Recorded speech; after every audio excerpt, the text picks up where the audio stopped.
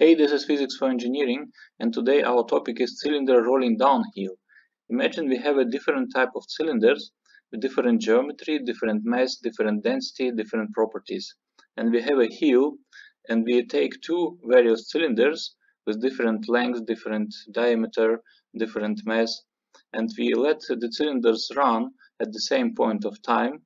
And our task for today is to understand which cylinder will arrive first in the finish line.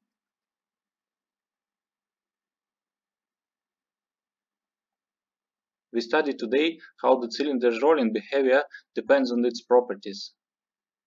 As a starting point, we will refer to the problem where the body is rolling down an inclined plane. The body has a mass m, radius r, and the general moment of inertia. The body has a linear acceleration a and angular velocity omega. This task was already solved in the previous video, where we obtained the linear acceleration by five different methods.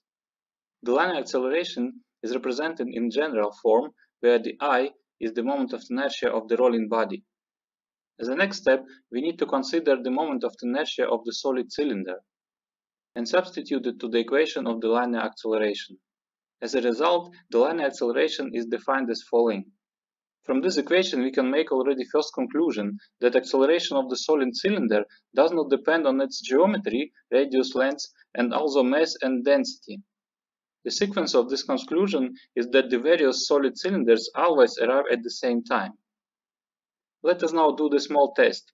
Let us take uh, several solid cylinders and put it on the inclined plane.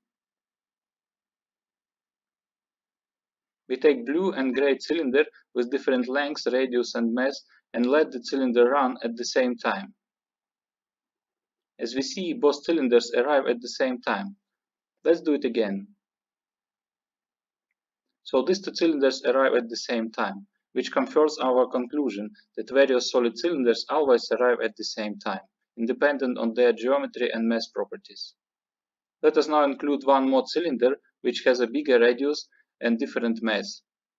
If we release all these three cylinders at the same time, they will roll together with the same speed and arrive at the same time as well.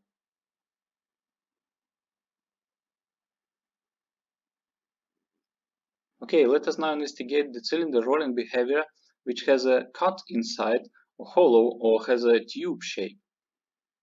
We take the basic equation for the linear acceleration and use the moment of inertia of the hollow cylinder and we obtain the equation for the linear acceleration of the hollow cylinder, which is already function of its geometry, its inner and outer radiuses.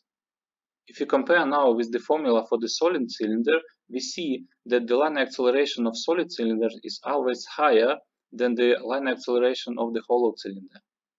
These two accelerations are equal to each other when the inner radius of the hollow cylinder is equal to zero. Therefore, the conclusion would be the following, that independent on the solid cylinder properties, its geometry, mass and density, it has always higher rolling acceleration than the hollow cylinder. in other words, hollow cylinder always loses to the solid cylinder during the races on the slope.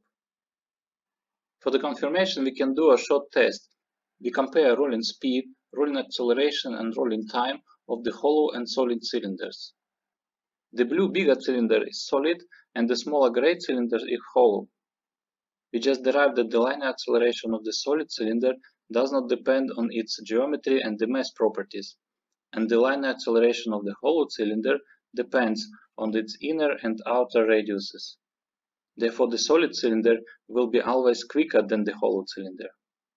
If we now release these two cylinders, we see that the solid cylinder arrived first and the hollow will follow.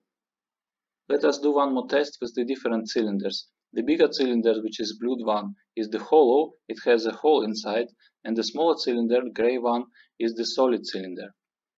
If we let the cylinder roll, we see that the smaller cylinder arrived first, thinks it is solid, and the hollow cylinder arrives second.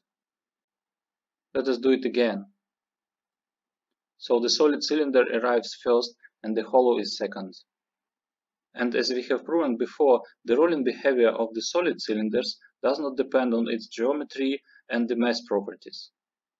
If, for example, we take two cylinders with different lengths, different radiuses, different mass and density, and let these two cylinders run at the same time, we see that they roll with the same speed and arrive at the same time as well.